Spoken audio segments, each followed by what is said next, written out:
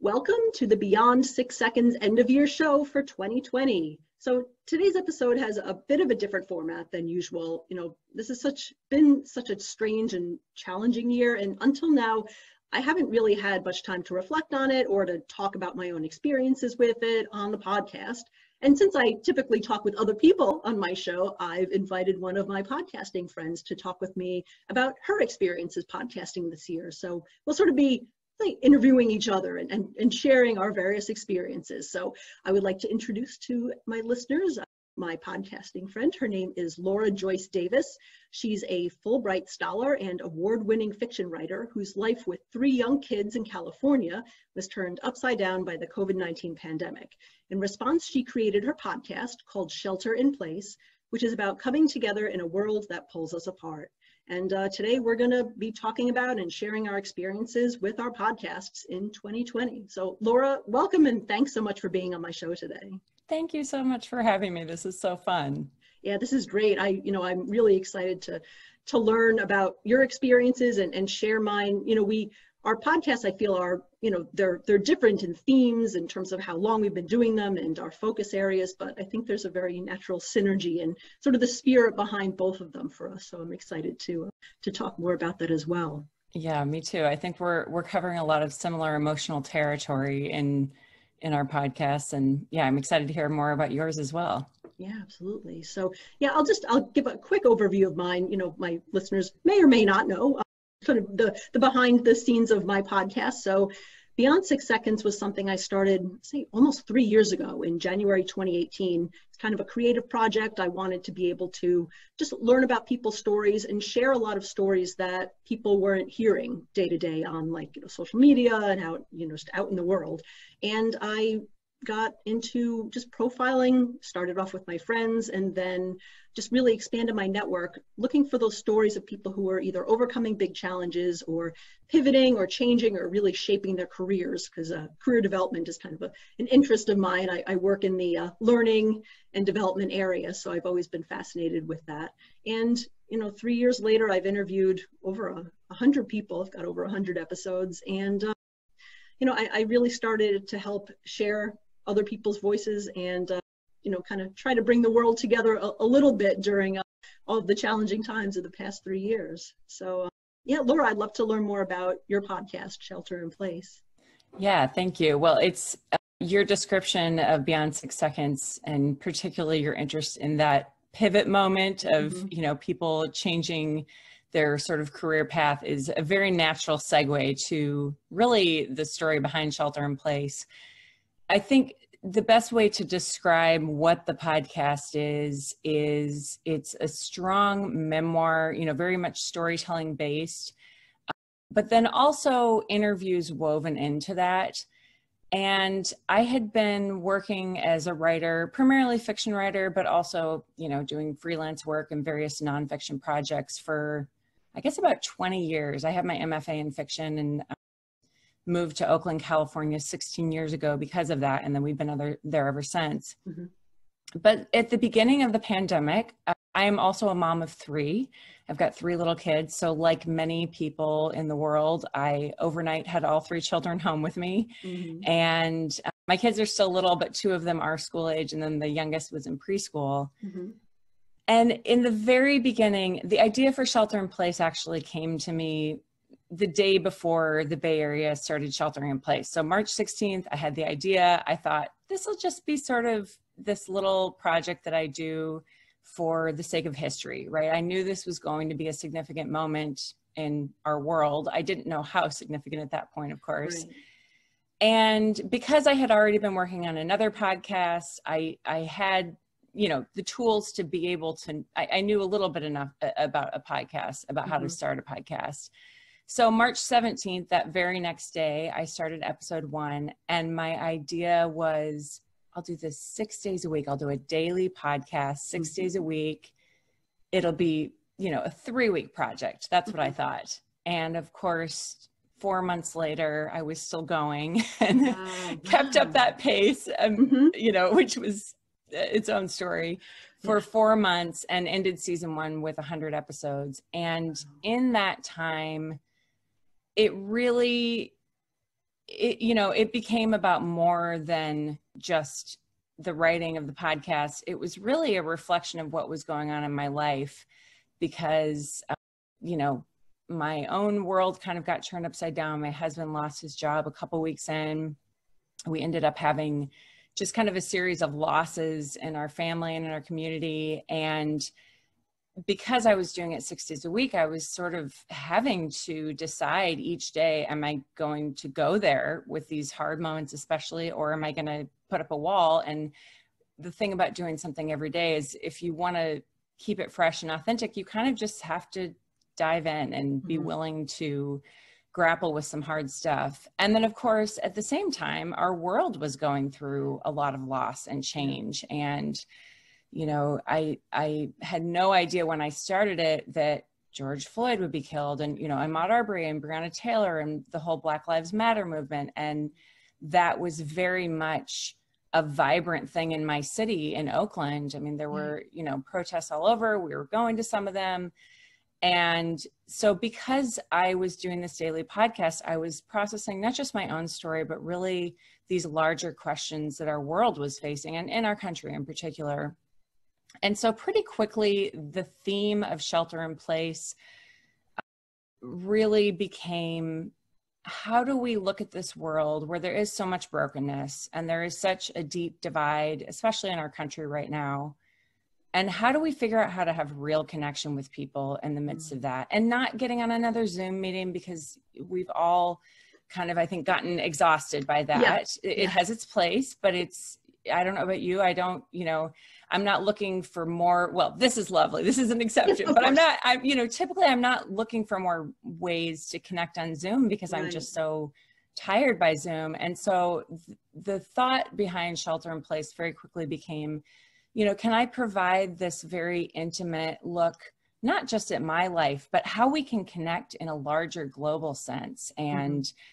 so there was a reviewer I love that she said this. She said, you know, it feels like having a coffee break with a close friend and, um, you know, somebody who will laugh and cry with you. And I think that that really captures the aesthetic of shelter in place and really the feel that I'm trying to go for. I want it to be as close to having that coffee with a dear friend as you can. Even though, you know, not all my listeners know me, there is very much like an intimacy there that is something that you know I've tried to do from the beginning and has kind of evolved over time to be what it is now. Yeah, yeah, it's powerful that uh, that desire to connect and uplift and, and tell these stories is really a central. I guess it's always been a central focus of of my podcast. Even I don't know if I consciously realized it when I first started three years ago, but especially this year when you know we're all seeing each other on Zoom and uh, yeah. you know and as the months go on and on and you know i'm thinking about you know i haven't actually seen like friends in person for months I, I recently just we just saw a, a, couple that we're friendly with and had a socially distanced get together but before that it was months since march we hadn't seen anyone hadn't seen our parents for months mm. so and it's it's strange to to think about that but i found that my podcast even though it wasn't specifically about 2020 or the, the pandemic or you know a lot of the the more timely social justice issues and, and racial justice issues i feel like that naturally kind of comes into the podcast through the stories that i tell because i interviewed a lot of entrepreneurs on the show. I, I, typically, you know, will have a lot of people who have kind of pivoted to start their own business or have, have built it coming right out of school. And, you know, the pandemic has impacted every single one of them. They've either had to change something. Sometimes they launched like in the middle of the pandemic, so they had to kind of change their launch strategy. So just hearing those stories, and it's just so fascinating to see how people adjust to those types of challenges and hardships. And, you know, more recently, some of these episodes will air, you know, in late 2020 or the first part of 2021. You know, I've had people coming on the show, black men and women who are now, you know, sharing and talking about some of the challenges and the injustices that they've had among their own family and friends or even with themselves, which is not something that I started out talking out on the podcast. I find them to be really powerful and just really important to tell those stories, you know, especially now. I mean, that, you know, it's always been important to help try to bring the world and, and it's it's trying to bring the world closer so that people can kind of understand other people's positions you know because otherwise how would you you know how would you know if you're you know if you don't get to talk to people and really hear about their experiences so i mean that's been a powerful part of it for me too yeah, I really resonate with that. I, I had a similar experience in season one. I mentioned that I ended up having 100 episodes, and I didn't do this on purpose, but because of what was happening and just, you know, what was going on with me personally trying to grapple with all of these things in our world, I ended up doing 50 interviews in those wow. 100 episodes. I mean, it was just ridiculous. Baptism by fire, right?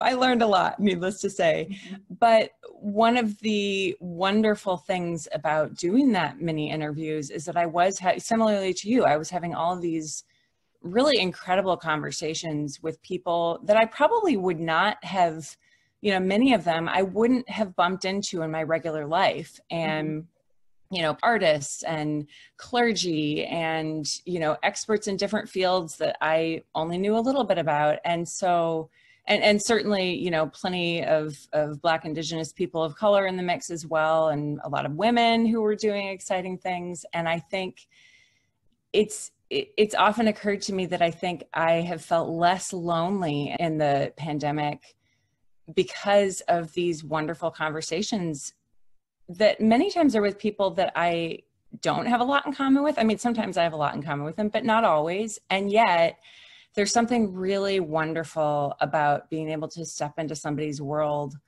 in the way that I think is really special about podcasts. There is this intimacy to these kinds of conversations that you kind of jump in deep right away mm-hmm. and you know sort of skip the small talk and get to get to the good stuff. And i've really i've just learned so much from those conversations. I feel like it's been it, it's really shaped my experience certainly of 2020 and you know the pandemic. And it sounds like that's been the same for you as well. Yeah absolutely. Yeah my podcast has you know consistently given me the opportunity to meet and talk with people who i probably wouldn't have encountered in, in my my normal life. You know i have people you know whether they're all around the world and just ge- geographically we're separated or just in, in, different fields and maybe our paths wouldn't cross otherwise. And uh, you know it's it's interesting in terms of the people i've interviewed over the years i occasionally you know i'll have someone who i admire with whether i don't know if i call them like a big celebrity but they might be a well-known name. So i i know certainly before the pandemic or even like right when it was like only going on for maybe a month, month and a half, and we all kind of thought, well, maybe maybe this will be over by May, and you know, that right, kind of, right. you know, let's take it, you know, see what we can do with this. So, you know, I had all these thoughts in March. I'm like, oh my God, all these like, you know, celebrities and famous people who are usually out like doing a book tour or performing somewhere, like they can't do that now. So I'm like, oh, maybe I could actually reach out and get someone to be on my podcast because they're available now. And I actually did have, you know, a handful of people who were more well known uh, to come on. Uh, one to promote a, a, book launch that was going on, and another was a, a stand-up comedian who I'm a, a big fan of was on one of my shows that came out around uh, I think March or maybe in April that one came out. So that was oh, exciting for me, and I kind of had that energy. But and but I don't know, it, it, kind of sounds like it may have been the same with you when you were kind of through your hundred episodes. After a while, it's like I noticed that my my energy really started to fade with every day, and then I kind of lost my my excitement for like finding like finding well-known names and trying to get them on the show it's like you know it's not really you know it's great. I, I interviewed some people who i really admired a lot and then others is like well you know i kind of you know i kind of want to hear from more just people who have really unique and interesting stories as opposed to just trying to find like the big names. So i don't know that was kind of a learning that i had after you know so much time trying to think about how can i get these really big guests on my show? It's like well you know these times it's not really about that. I just want to you know it you have to conserve your energy so much that I only want to, you know, I only want to talk to the people who I want to talk to and who, you know, have, I can know I can have a really interesting and, uh, and powerful conversation with and make it interesting for my listeners as well. So yeah. I don't know um, if you had that experience with finding the people that you interviewed or just sort of a concept of energy over these couple of months. Yeah, it's a really good question. And I think because I did not, you know, in the beginning, I had no idea what the podcast was going to be. I really did just think I was doing it for three weeks and it was going to be sort of, you know, kind of, I mean, I'm a creative writer, so there was a lot of craft that went into it. I mean, all of my episodes are very much written and edited and all that. But I just thought it was going to be, you know, sort of my little memoir audio diary for three weeks and then we'd be done with it. that would be right. it. I did not have big plans for shelter in place in the beginning. Yeah.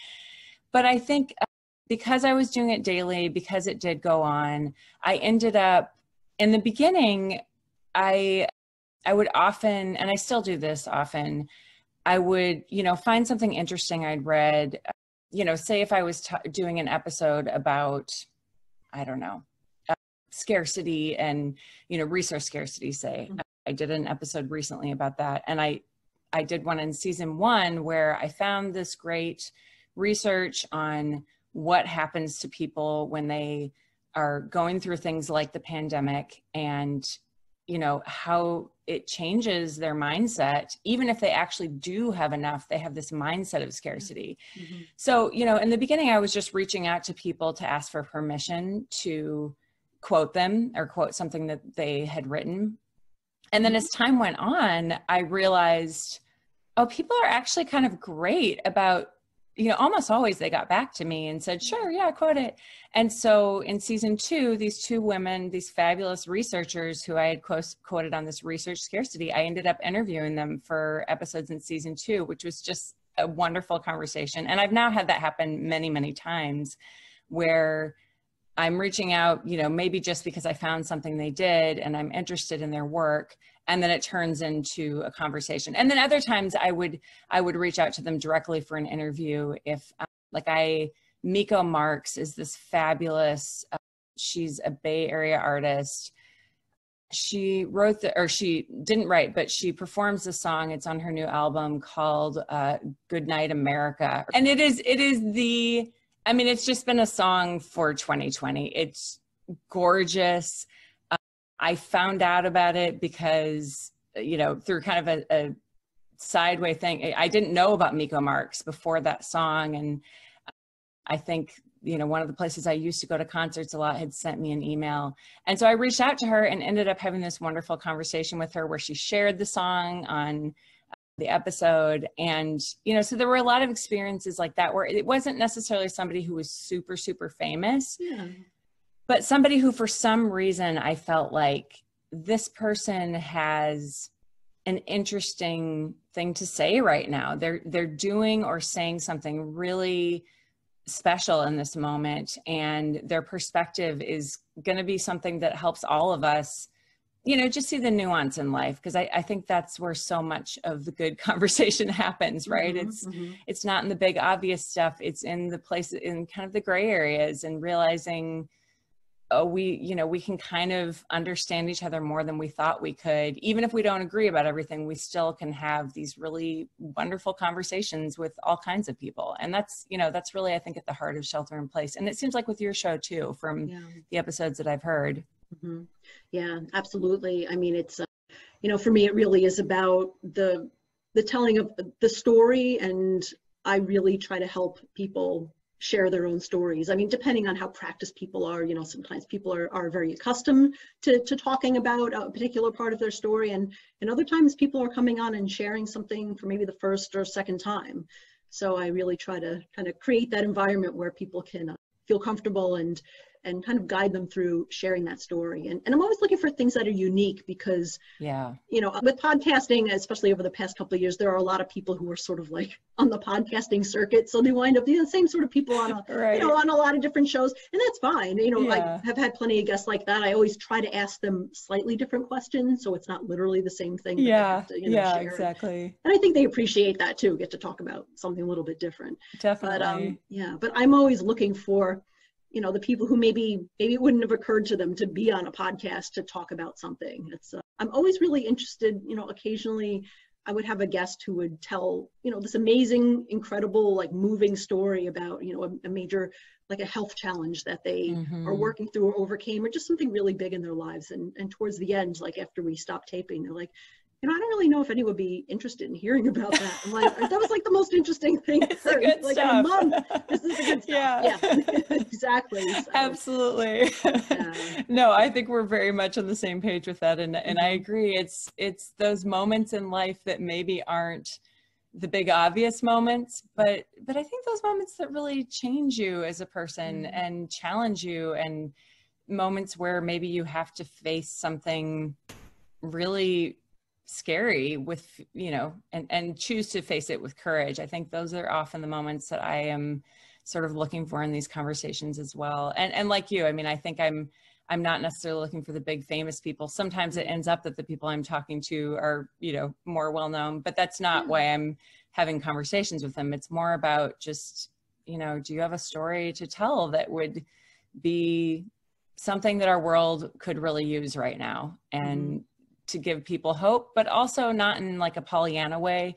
Right. You know, gra- really grappling with how life is challenging. And I think, especially in 2020, for most yeah. people, life is not easy right now. And right. so being real about that, but not letting it sink you. You know, I think mm-hmm. that's kind of every episode the place that I'm trying to get to. And sometimes it was easier than others. And but you know especially with doing the daily episodes and i should say i'm not doing daily in season two i'm doing weekly which has mm-hmm. been a mm-hmm. much better more you know sane rhythm mm-hmm. mm-hmm. to have yeah. but especially in season one doing it daily you know it was just every day okay how do i find my way to hope and not feeling sunk by whatever's going on in our world and often that was through conversations with other people and then sometimes it was just you know through my own writing and storytelling and I, I really love that there's that enduring theme in the episodes I've heard of your podcast as well. Yeah, yeah, it's it's you know it's powerful, and it sounds like you know you you are a writer by trade. In a way, this was sort of like you know a type of audio journal maybe, or, or something that uh, you know is shared with with people in in different ways. You know, people may read your writing, but there's a whole other group of people who are who are listening and watching. So yeah, I, I'm glad you brought that up. Actually, it's it's been something that I have thought a lot about in this process. I mean, I mentioned I've been, you know, I've been a writer for over 20 years. This is what I've been doing for, I've had a lot of jobs, but that's really what I've been doing for my entire adult life and, you know, a lot of my childhood as well.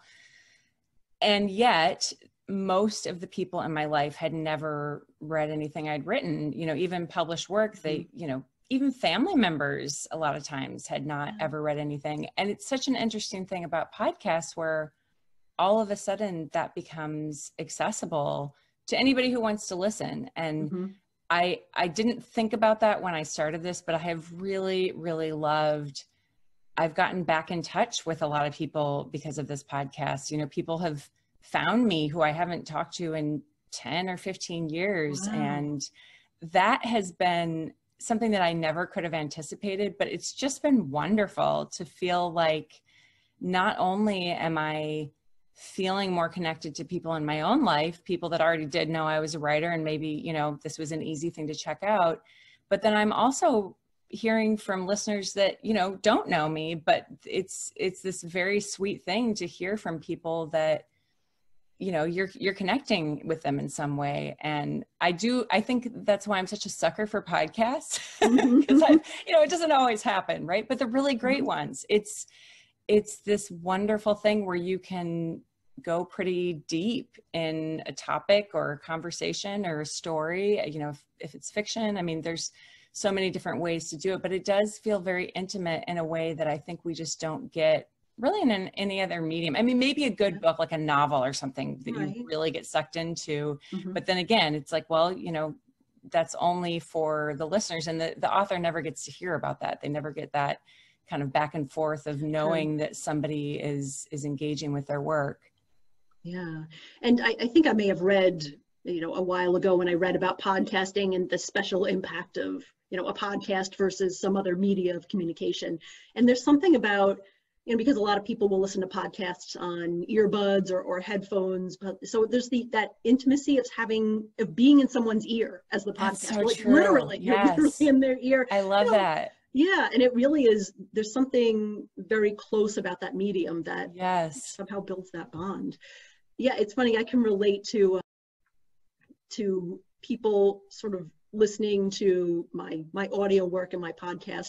Mainly for me, it was around my my work colleagues uh, started to listen and, and join a bit more because. Uh, you know, it's funny when I started the podcast, I, I kept it, you know, very separate from my work. I, I have like, you know, a typical like corporate job at a big corporation. And I, I, I just wanted this to be like sort of my separate hobby. I didn't really talk about it at work at all. Um, you know, I just was kind of doing my thing. And then, you know, towards probably around the beginning of the year, I started sort of talking about it a little bit more, and mentioning that I had a podcast and, you know, occasionally sending someone a link or so.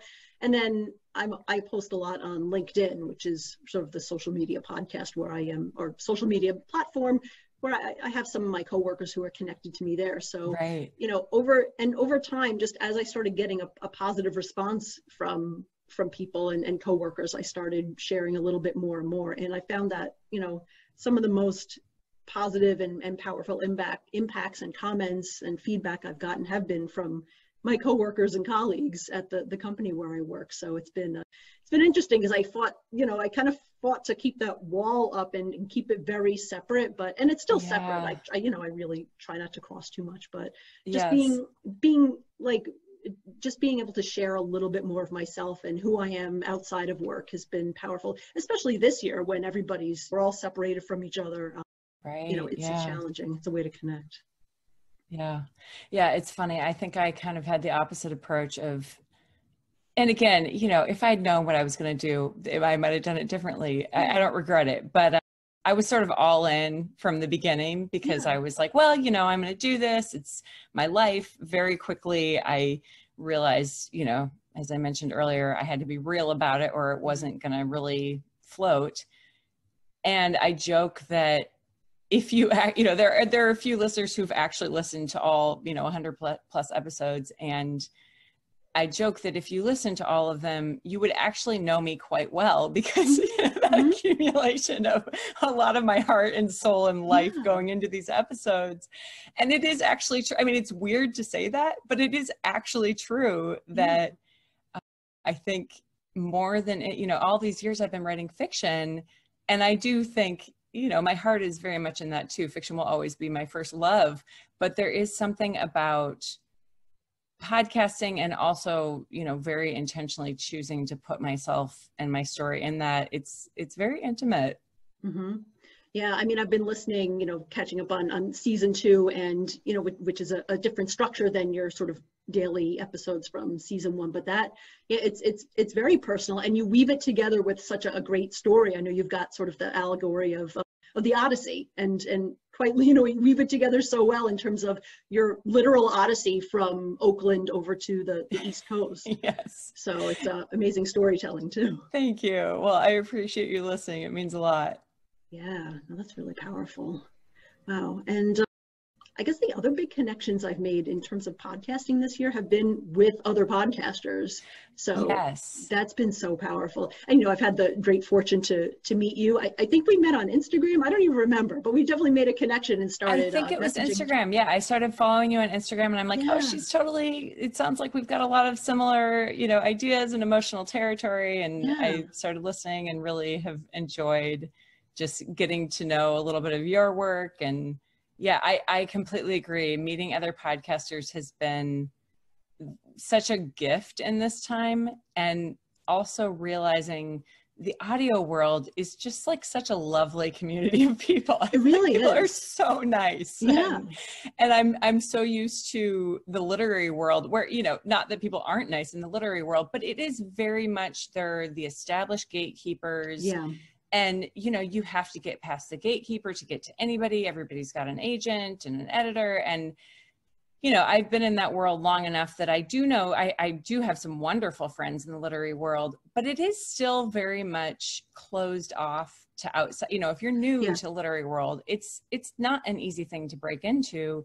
Right. And podcasting is this. It just feels like this very open community of people who are very happy to help each other out and I certainly have benefited from the generosity of a lot of different audio people out there who've been willing to just be like, yeah, I'll teach you how to do this and I'll, you know, tell you where to look for these resources or where to buy a mic. And I think, yep. you know, I, I wouldn't have been able to ever pull this off had it not been for probably at least a dozen other podcasters just being incredibly kind and generous with their time and expertise. Yeah, and I've had the same experience. Uh, you know, I, I had the uh, the really good fortune to go to uh, my first podcasting conference uh, late last year. So I went to uh, the She Podcasts conference that was in uh, Atlanta in it was oh, October. Oh, nice. Gosh, it was over a year ago at this point. so I got to meet a lot of people in person. You know, some of whom I have been messaging beforehand, and actually I met in person two other podcasters and literally every other week including you know still continuing that we've been meeting and chatting over zoom. And uh, it, has been that. it's pretty extraordinary because it is it's literally just talking about whatever's been going on for the past like week or two that we haven't talked about each other. So it's very you know it's very casual and it's just a great way to to keep those bonds up and then i have another podcaster who i chat with on the phone maybe about once a month or so just to catch up on what's going on so uh, yeah that community has just been really supportive uh, just in general. So I'm fortunate I, I got to go meet people in person before everything, you know, kind of shut down. I uh, I was going to go again this year, but of course that got postponed, and none of us really, you know, went. To, went I, I didn't wind up going anywhere really, besides uh, you know outside of New Jersey or so. But, uh, but maybe maybe next year in the near future, I hope hoping to do that again. I had a very similar experience. Well, you were at your conference. You said October you went? Yes. So I also in October went to my first podcasting conference and it was also a women's podcasting conference. Oh. Werk It. It's W E R K. Mm-hmm. They have it in LA or at least it wasn't I don't know if it's in LA every year. I think it mm-hmm. usually is, but um, I went to that for the first time and I had submitted the the other podcast that I was working on I'd submitted to their contest. WNYC has a contest. It's like a podcast accelerator contest. Mm-hmm. And so I ended up being a finalist for that. And because of that, got to meet all the other finalists. And same thing, a couple of those finalists have continued to be friends and we've, you know, been checking up on each other. We'll have co- phone conversations. I mean, just last week I talked to one of them and it's been I mean, such a gift to talk to other people who are coming from totally different places in the country and have really different experiences. But I mean, these two women are, you know, they're, they're, I think they're both still in their 20s. They're, mm-hmm. I'm 41, like they're way younger than me, but I have learned so much from them. And it's just, it's, it's such an amazing thing to be able to really share that knowledge and, you know, just feel like you have friends in the community. Yeah, no, absolutely.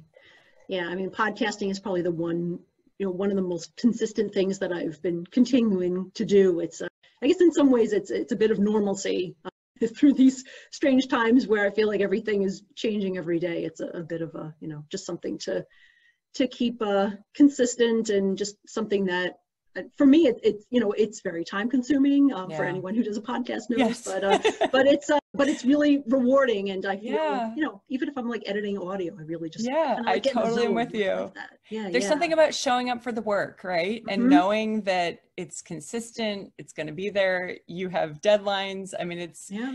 after so many years again of being in the literary world i you know you send a short story out to a magazine and it is not at all unusual for six months or even longer to go by before you hear back from anyone right. and so you just kind of you know you send things out into the ether and then forget about it. And then if you if you get it accepted it's a wonderful surprise.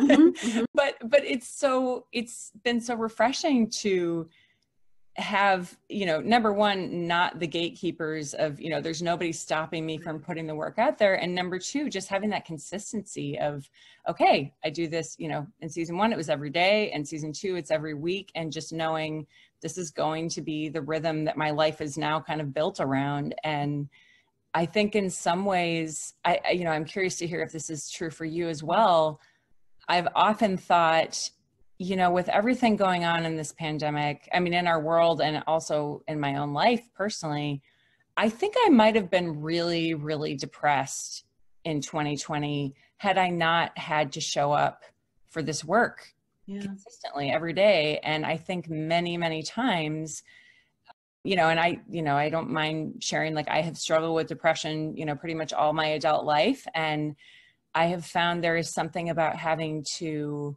face you know the hard parts of life every day and and really to find my way to hope no matter what's going on through my writing i always knew that writing could do that for me but i think before it was easier to be lazy about it and be like well i don't feel like writing today and now it's like no there's this is just what i'm doing and doesn't matter if i'm in a great mood or terrible mood when i wake up this is what i am diving into yet for yet another day and i i'm so grateful for not just podcasting, but I think the creative process. It's been such a wonderful reminder of how creativity can really save us you know, mm-hmm. in dark times. And it's it's it's like this friend that is always there, you know, and I mean it sounds silly to say that, but I think the work when you choose to go there even on the hard days, something really beautiful can come from that. Yeah you know, it, it's so interesting because one of the other motivations for me starting this podcast, I, I mentioned earlier, I really wanted a, a creative project or something that I could kind of own and control. And I had probably about a year before that I had tried to start a blog and write consistently, but I would write like two or three posts and then like get writer's block or just I never established that habit or discipline and then I would just like feel bad that I wasn't writing anything. So I thought, well, maybe let me try podcasting because I kind of discovered it, you know, in sometime in 2017. I'm like, you know, I you know, I have a little bit of audio recording experience from my uh, my musician and singing days. So I, I wanted to ask you about that. Yes. Yeah, I can try to figure that out, yes. and then yeah, and then and then for me, it's like because I do interviews. There's there's never any shortage of people for me to interview. Like that's you know never been an issue for me, fortunately. So it's not like oh I don't you know, it's not like when I'm writing and it's like I can't think of anything. It's like, well, there's always somebody to interview and talk to, and and it's very it's enough structure for me to do it consistently. So it it's true. Yeah, I, I feel the same way, and I I'm glad you brought up the musician thing because uh, I don't know if you know this. We we share in common a past history as a cappella singers. Oh, really? Oh, I didn't yes. know acapella. So I yes I I did uh, a cappella in college. It sounds like you did it a little more professionally than me, but I was at the University mm-hmm. of Wisconsin. I was in their women's a cappella group, and uh, you know my my big moment of glory and that was my solo. The song that I did a solo fo- for got. It, it, won the best of a college a cappella that year. It was on that, you know, compilation album oh, that they wow. put out every year, which oh, was super fun look that up. It's out there. The, it's on my website somewhere. I think my yeah. husband like buried it somewhere in the website. he, he made my website, but it's there. Oh. I can send it to you. Oh yeah. But but I I did I wanted to ask you about that because yeah. something that has been a really fun surprise for me in this is realizing oh my music background my singing background is actually it's it's actually super applicable i mean yeah. things like breath support and mm-hmm. thinking about you know the the tone and the tenor of your voice when you speak and you know my husband teases me that i have i have like a podcast voice that's you know it's mm-hmm. different than the rest of my life he's like oh. maybe you should bring out the podcast voice more but it's i think that was my singing background i think it was all of those years of singing and really learning about how you can make your voice sound different you can yeah. evoke different emotions depending on not just how high or low it is, but how much force there is, yeah. you know, kind of all of those things. And I'm curious if you have found as well, being a singer, like has, has that occurred to you at all that you bring that into your podcasting? Yeah, I mean, I, I definitely see it and agree with all of the the points you made about you know the breath support and everything that yeah. comes that comes into that. And it's funny, I I've had the opportunity to interview uh, you know a couple people. You know, some of them have had like radio careers or other right. sort of careers in audio. And when I I mentioned my singing background or music, they're like, oh yeah, like like we're all musicians in that area. Like it's very common. well, and audio editing too, right? Yeah, yeah, audio editing. I feel like is basically yep. like if you have a good ear for audio editing, it's very very similar. I think to when you're trying to figure out like what makes a good song and you know timing and all of those things, rhythm. I think there's yeah. there's and you know again, I never thought of this when I started all of this, but as I've learned to edit audio, as I've, you know, done this longer and longer, it's been really fun to just realize, oh yeah, there's a ton of overlap there. And it's mm-hmm. really, you know, having music a part of my life. And then once I stopped doing that, you know, I graduated from college and I didn't really, you know, sing in church sometimes, that kind of thing. But I didn't really have a chance to do it the way that I used to. And so it's been fun to feel like, oh, there's that, you know, musician's ear that I'm still bringing to podcasting now, which I really love. Yeah. And I think also one thing that worked in my favor is that I'm I'm because I've been a singer for so long, I, you know, I, I sang, I also sang a cappella in college and yep.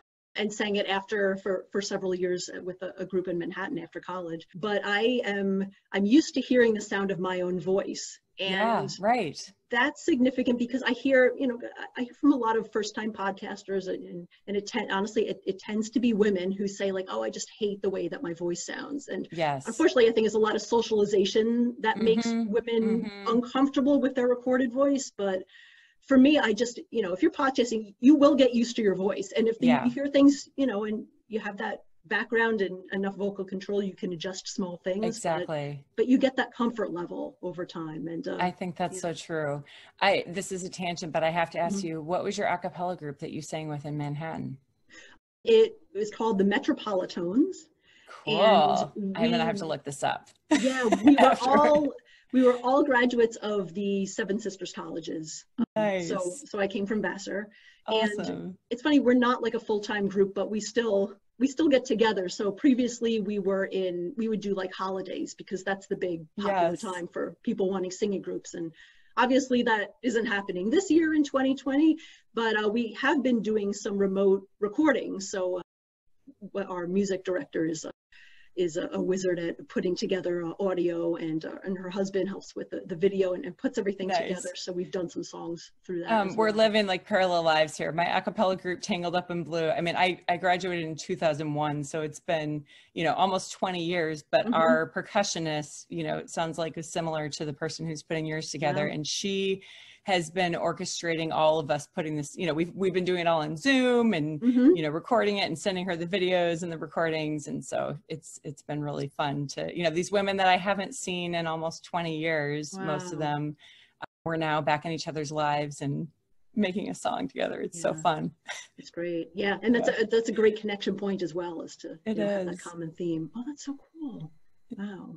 And then of course, one new thing I've been doing with the podcast is putting up YouTube videos. So that that I probably just started like the second half of the year around September because yeah. you know I was always you know I was so kind of singularly focused on the audio. It's like well you mm-hmm. know people are on YouTube people you know people may want to see actually see me talk to other people instead of just true. listen and people understand YouTube. I think with podcasting people don't really get like where to go to listen. I mean it is confusing. It's it's it's kind of a strange area for people who aren't used to the world of podcasting. It's still kind of new it's for true. a lot of people, but people get YouTube. So I yeah, you know, that's YouTube. a great point. I hadn't thought of that with YouTube, but I think you're right. It's, it's more accessible and there's not that barrier of like, where's the podcast app on my phone? Right. And I think that's, that's a really good point. So, okay, yeah. I got to get on YouTube more. yeah. So I'm, I'm trying it out and yeah, I've gotten some, you know, you know, I'm always looking for subscribers. I think literally now every every episode I have an intro about like, did you know that I have a YouTube channel? That's great. Please don't look at it. I love but it. It's been it's been fun. Yeah. That's great. So, yeah. Well, Laura, thanks so much for talking with me today. I think we've we've covered a lot of ground in terms of you know things we've learned about ourselves and sort of the impact of 2020 on our podcasting. I mean, yours is is very direct and, and obvious because you started it in, in 2020 in response to all these uh, circumstances that we're all going through. And but I think uh, you know mine and and others have been shaped by this year as well. Um, where can people go if they want to listen to your podcast? Yeah, so it's uh, of course on Apple Podcasts or Spotify or wherever you get your podcasts. Mm-hmm. Uh, and you can also find us at our website, which is shelterinplacepodcast.info and we have a season two video trailer there as well as audio trailers and all of the goodies of you know things you want to know anything you want to know is there mm-hmm. fantastic yeah and i'll put that in the show notes too and obviously you can find uh, my podcast on beyond6seconds.com with the, the number six, and all of my episodes are there, and of course on your favorite podcast player. So, uh, yeah, Laura, it was really great to talk with you. Thank you so much for sharing your experiences this year, and uh, it, you know, it's just been a great conversation. Really, really enjoyed it. Thank you so much for having me. I've just loved this conversation so much, and it's really fun to meet you. I think, uh, you know, it's always fun to find a kindred spirit mm-hmm, and absolutely. a fellow acapella singer. Yes, I mean, come amazing. on. Oh yeah. I'm such an acapella geek. oh yeah, no, me too. Absolutely. no, but really, thank you so much, Carolyn. This is really fun. Great, thank you.